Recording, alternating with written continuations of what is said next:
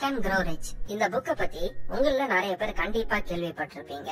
இந்த புக்க இதோட ஆத்தர் நெப்போலியன் ஹில் வந்து ஒரு ரொம்ப ஏழையான ஃபேமிலியில பிறந்திருந்தாலும் பத்து வயசுல இவரோட அம்மா இறந்து போயிருந்தாலும் பதிமூணு வயசுலயே இவரு ஒரு லோக்கல் நியூஸ் பேப்பர் கம்பெனில ஒரு ரைட்டரா ஜாயின் பண்ணதுனால சின்ன வயசுல இருந்தே கஷ்டப்பட ஆரம்பிச்சதுனால இந்த பாவர்ட்டிய உடைச்சி பல மடங்கு வெல்த்தியான நிறைய பெரிய பெரிய சக்சஸ்ஃபுல் பீப்புள இவருக்கு இன்டர்வியூ பண்ண சான்ஸ் கிடைச்சது. இப்படி அவருக்கு சான்ஸ் கிடைக்கும் போது இன்டர்வியூ பண்ண ஒருத்தரோட பேர் தான் ஆண்ட்ரூ கார்னகி அவரு அந்த காலத்துல அமெரிக்கால மிகப்பெரிய ஸ்டீல் கம்பெனிய ஓன் பண்ணிட்டு இருந்தாரு. இவரை அந்த காலத்துல ஸ்டீல் கிங்னு கூப்பிட்டு இருந்தாங்க. இவரு அவரை இன்டர்வியூ பண்றப்ப இவருக்கு ஒரு லைஃப் டைம் ஆப்பர்ச்சுனிட்டிய ஆண்ட்ரூ கார்னகி வந்து அவரோட சேர்ல சாஞ்சு உட்கார்ந்துகிட்டு அவரோட கண்ணுல ஒரு ஸ்பார்க்கோட உன்னோட லைஃப்ல இருபது வருஷத்தை நான் உனக்கு கொடுக்க போற ஆப்பர்ச்சுனிட்டிக்காக டெடிகேட் பண்ணுவியான்னு கேட்டாரு. அது எந்த மாதிரி ஒரு ஆப்பர்ச்சுனிட்டின்னு கேட்டீங்கன்னா இந்த உலகத்துல அந்த காலத்துல இருந்த பெரிய பெரிய rich and successful people interview பண்றதுக்கான ஆப்பர்ச்சுனிட்டி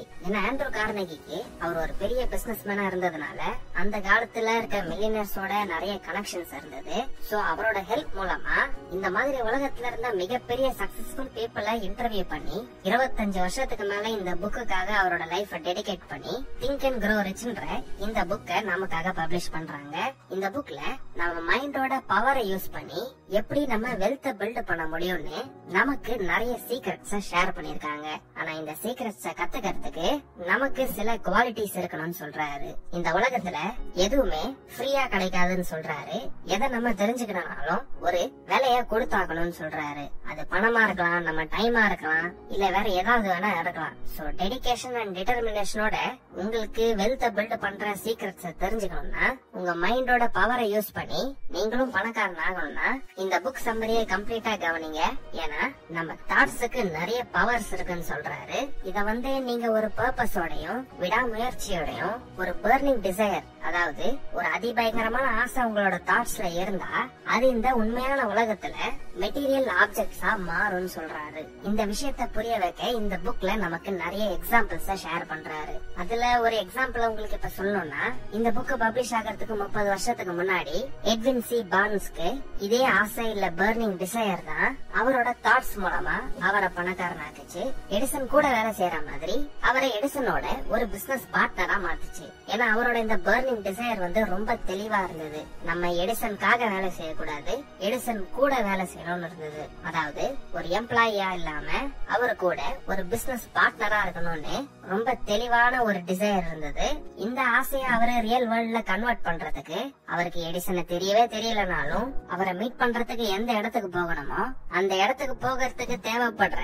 ட்ரெயின் டிக்கெட்டோட சார்ஜ கூட அவரால் கொடுக்க முடியலனாலும் ஒரு கூட்ஸ் ட்ரெயின்ல ஏறி லக்கேஜோட லக்கேஜா எடிசன் இருக்க இடத்துக்கு டிராவல் பண்ணி வந்தாரு. எடிசன் அந்த காலத்துல ஒரு பெரிய இன்வென்டரா இருந்தாலும் இவருக்கு முன்ன பின்ன எந்த குவாலிபிகேஷனும் இல்ல எந்த திறமையும் இல்லனாலும் எடிசனோட லேப்ல போய் நான் உங்க கூட பிசினஸ் பண்ண வந்திருக்கேன்னு அவரோட ரொம்ப நாள் ஆசைய அவருக்கு முன்னாடி எக்ஸ்பிரஸ் பண்ணாரு.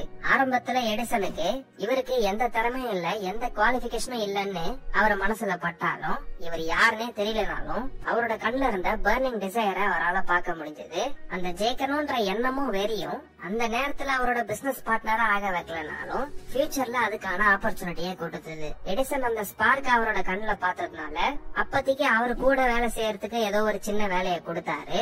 பல மாசமா எடிசனோட லேப்ல இவர் சின்ன சின்ன வேலையை செஞ்சுட்டு இருந்தாலும் இவரோட மைண்ட்ல அந்த பர்னிங் டிசைரும் எண்ணமும் இருந்ததுனால ஒரு நாள் இவர் எடிசன் கூட சேர்ந்து வேலை செய்யறதுக்கான ஆப்பர்ச்சுனிட்டி கிடைச்சது. எடிசன் ஃபர்ஸ்ட் டைம் அவரை பார்க்கும்போது அவர் ஒரு பார்ட்னரா சேர்த்துக்காததுனால ஆ என்ன யூஸ் இவ்வளவு தூரம் டிராவல் பண்ணி வந்ததே வேஸ்ட் நான் வேற வேலையை பார்க்க போறேன்னு அவர் போகாம. அவரோட சான்ஸ் வர வரைக்கும் வெயிட் பண்ணிட்டு இருந்தாரு இப்படி ஒரு ஆசையும் எண்ணமும் அவர்கிட்ட இருந்ததுனால ஒரு தடவை எடிசன் வந்து ஒரு டிக்டேட்டிங் மிஷினை பர்ஃபெக்ட் பண்றப்ப அதுக்கு எடிபோன் பேர் வச்சு அமெரிக்கால எல்லாருக்கும் மார்க்கெட் பண்ணி செல் பண்ணணும்னு நினைக்கிறப்ப எந்த சேல்ஸ்மேனும் அந்த மிஷினை மக்களுக்கு போய் செல் பண்றதுக்கு அந்த அளவுக்கு இன்ட்ரெஸ்ட் காட்டல. ஏன்னா அது ஒரு புது மிஷினா இருந்ததுனால அதை செல் பண்றதுக்கு நிறைய எஃபர்ட் போட வேண்டியா இருக்கும். இதனால எல்லாருமே அதை அவாய்ட் பண்ணிட்டு இருந்தாங்க. பான்ஸுக்கு எடிசன் கூட ஒரு பிசினஸ் பார்ட்னரா ஆகணும்ன்ற ஆசை இருந்துகிட்டே இருந்ததுனால இதை அவர் ஒரு ஆப்பர்ச்சுனிட்டியா பார்த்தாரு.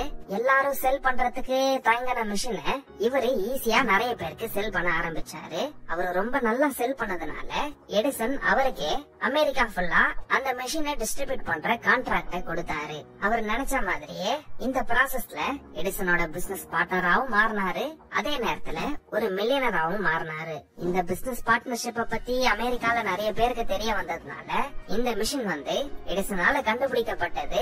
அமெரிக்கா ஃபுல்லா பான்ஸால இன்ஸ்டால் அண்ட் டிஸ்ட்ரிபியூஷன் பண்ணப்பட்டதுன்னு எல்லாருமே பேச ஆரம்பிச்சாங்க. இததான் நம்ம யோசிச்சு நம்ம எண்ணங்கள் மூலமா பணக்காரன் ஆகிறதுக்கு ஒரு எக்ஸாம்பிள்னு நெப்போலியன் ஹில் சொல்றாரு. இந்த பிசினஸ் பார்ட்னர்ஷிப் மூலமா பான்ஸ் வந்து அந்த காலத்திலேயே ஒரு டூல இருந்து த்ரீ மில்லியன் டாலர் சம்பாதிச்சாரு ஆனா அவர் அங்க சம்பாதிச்ச மணின்றது ஒரு பை ப்ராடக்டா இருந்தாலும் அவர் தெளிவா ஒரு விஷயத்துல ஆசைப்பட்டு அந்த ஆசைப்படுற விஷயம் கிடைக்கிற வரைக்கும் விடாமுயற்சியோட எடிசன் கூட வேலை செய்யணும்னு அந்த தாட்ஸோட அவர் இருந்துகிட்டே இருந்ததுனாலதான் இந்த மாதிரி ஒரு பிரச்சனை அவருக்கு ஒரு ஆப்பர்ச்சுனிட்டியா தெரிஞ்சது. இதுதான் நம்ம மைண்டுக்கு இருக்கிற பவர்னு நெப்போலியன் ஹில் சொல்றாரு.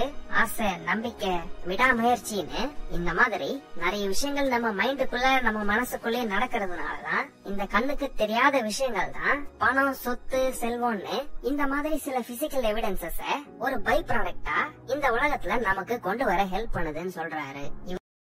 பார்ட் டூவை இன்னொரு வீடியோல பார்க்கலாம். தேங்க்ஸ் ஃபார் வாட்சிங்